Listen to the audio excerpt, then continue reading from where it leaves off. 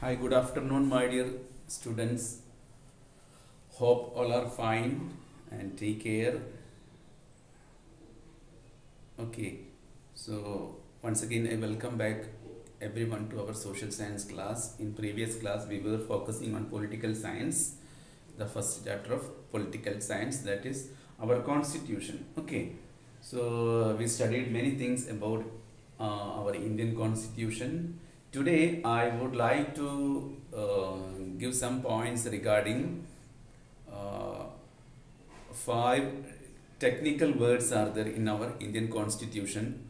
Okay, and these things are used by courts, high courts, supreme courts. Okay, so in sometime in newspapers and tele- television news, you might have heard about these technical words. Okay, so I shall explain you about those words. First word is uh, habeas corpus. Okay, on page number 54 in your textbook, page number 54, you can see habeas corpus. Okay, it is a writ, it is an order produced by the higher courts, especially Supreme Court of India and the High Courts of India. Okay, and what does it mean? What does the meaning of habeas corpus? Okay, and many of these words are not proper English words. These are adopted from many uh, other languages like Greek, Latin, Spanish. Okay, like these languages. So here habeas corpus means to produce the body in front of the court.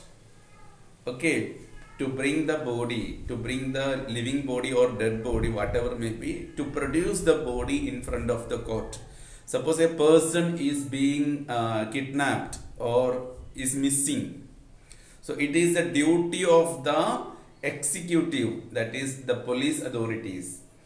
Okay, it is the duty of the executives or police to find out that certain person, whether he or she or minor or adult, it is a duty of the executive to bring or to produce the person in front of the court within the uh, allotted time. Sometimes the court may tell within 48 hours or within 24 hours or within 72 hours that certain person should be brought or produced in, in front of the court. Such a writ, such a order produced by uh, Supreme Court or High Court is known as habeas corpus. Okay.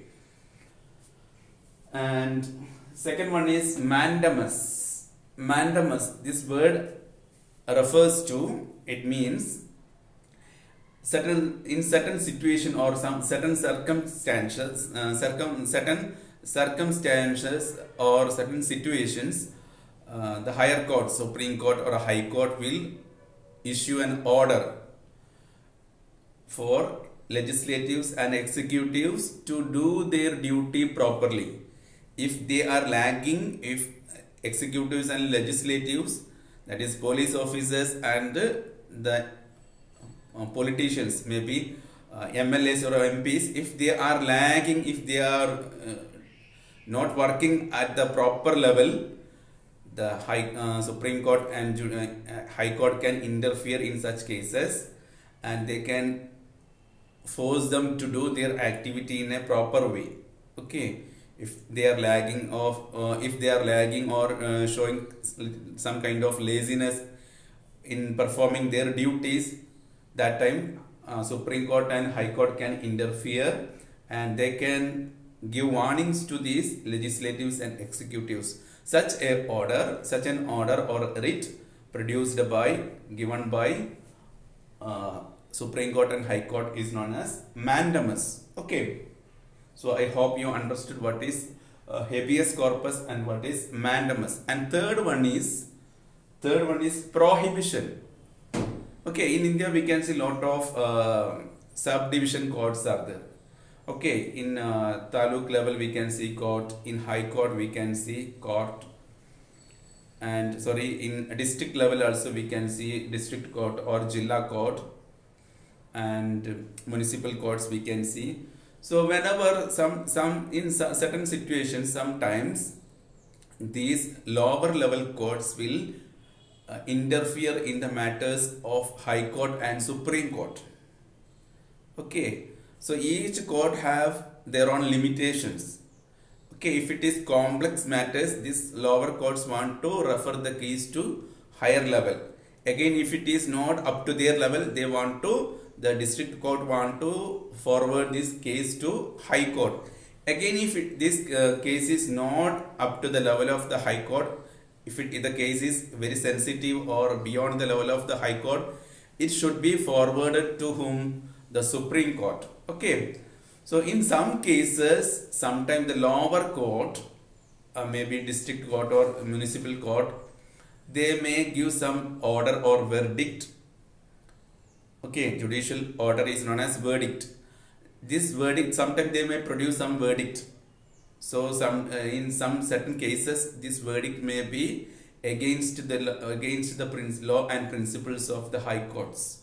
So during that situation the supreme court or high court will interfere and they will freeze they will freeze or stop such kind of or stay we call it a stay such order from the lower court. Such an order or stay is known as prohibition. Okay as the name shows it is prohibited.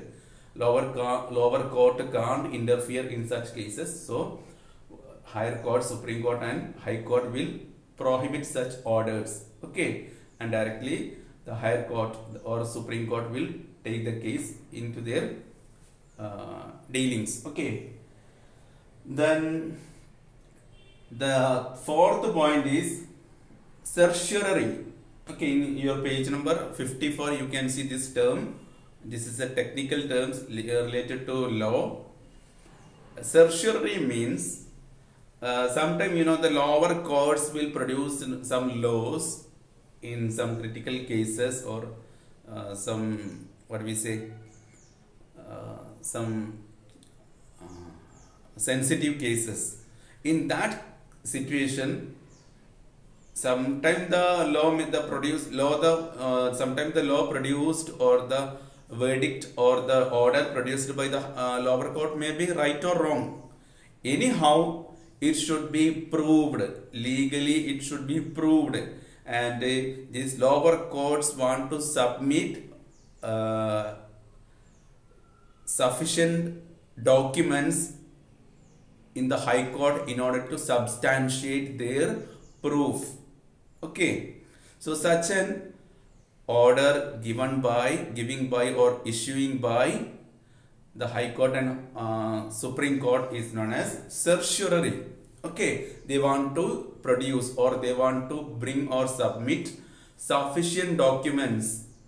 Maybe visual documents written documents verbal documents whatever may be the documents maybe sometime it may be digital documents okay so all these proofs or documents should be submitted in front of the higher court when they give such order. Such an order is known as such an order is known as, known as certiorari. Okay. Certiorari that is known as certiorari. Okay. And the last one is quo warranto.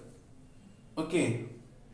Quo warranto means in some cases uh, if any person, if any citizens violate the law and order of the country or the law and order prescribed by the Indian constitution as well as Indian penal code, such persons will be sending, such persons will be showing the show cause notice through the media, maybe through the uh, television or newspapers, okay, and such a warrant or notice giving by the high uh, the court is known as quo warrant okay. Showing the reason. Show we call it as uh, show cause notice. Okay.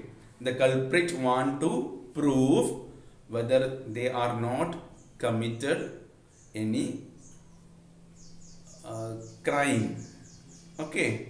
You know crimes there are two types of crimes are there civil crime and criminal uh, sorry uh, civil cases as well as criminal cases. Okay in in ipc indian penal code there are two types of laws are there. One is so related to social issues social cases. One is criminal cases. In social cases people will be getting bail okay by paying 10000 rupees or uh, some amount or in the bail of uh, in the protection of another person uh, that person may get bail okay? But in the case of criminal case that persons will not get any bail. For example POCSO case okay?